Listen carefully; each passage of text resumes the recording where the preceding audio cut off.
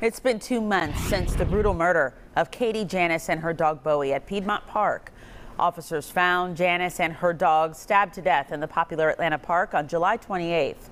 Atlanta police have identified potential witnesses in the case, but have kept details about the stabbing very quiet.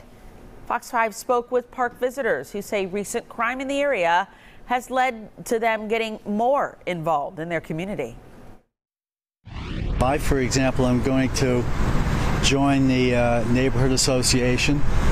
Um, what I've noticed is that uh, there's very little surveillance. Uh, I, I don't know exactly how much there is, but obviously the right dose uh, needs to be uh, figured out.